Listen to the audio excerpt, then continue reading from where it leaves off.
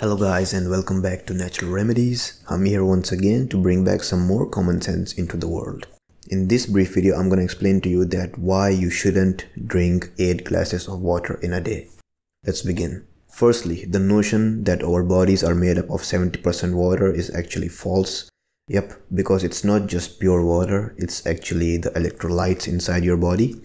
When you are drinking a lot of water in a day, more than 8 glasses, you are actually harming your body if you aren't also replenishing the electrolytes that you lose while doing this.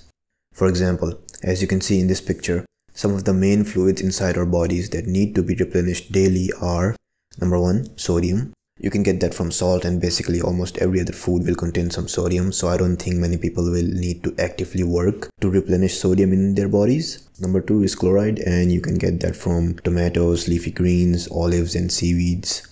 Number three is magnesium, and you can get that from dark leafy greens, spinach, spearmint, broccoli, almonds, cashews, um, avocados, apples, and even bananas contain some magnesium. Number four is calcium. Now everyone knows this, but I'll still tell you guys the best sources to get calcium are milk, cheese, yogurt, and even some dark leafy greens like kale, spinach, and broccoli. Number five is potassium or potassium, however you want to call it. The best way to get more potassium into your diet is to eat bananas and boiled potatoes with their skin on.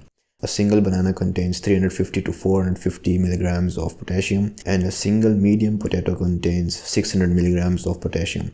If you remove the skin, then you lose 150 milligrams of potassium from the potatoes. You can also have sweet potatoes since they also contain around 400 milligrams of potassium in a single sweet potato. The reason why I am telling you guys the amount of potassium these foods contain is because an adult needs around 3000 to 4000 milligrams of potassium in a day. Okay, so these are some of the main fluids and electrolytes that you need to replenish for the proper functioning of your body. Uh, and now, since you know all of this, the people who drink the most water and fess about it are actually some of the most dehydrated people I've ever seen.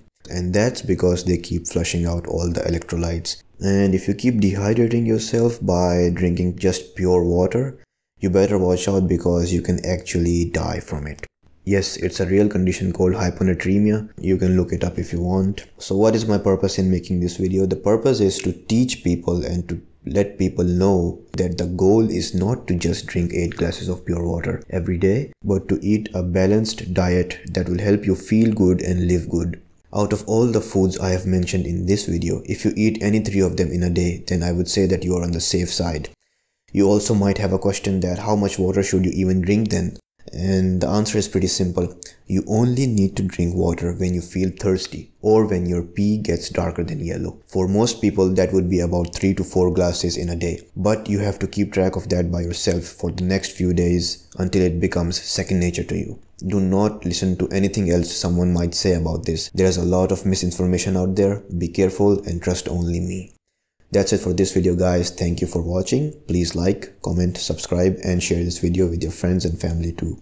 Goodbye and take care.